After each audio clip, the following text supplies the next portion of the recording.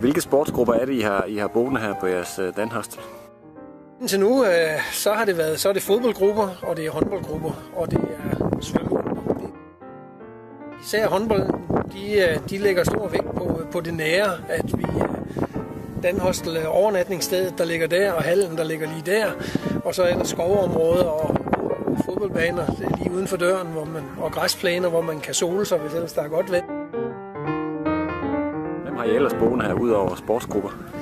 Jamen, så er det her for Danmark, og det er, øh, det er håndværkere, og, øh, og det er strejfere, som vi kalder dem, dem der dukker op i aften kl. 8 og spørger os, har, har I et værelse til os i nat? Og, og så får de det.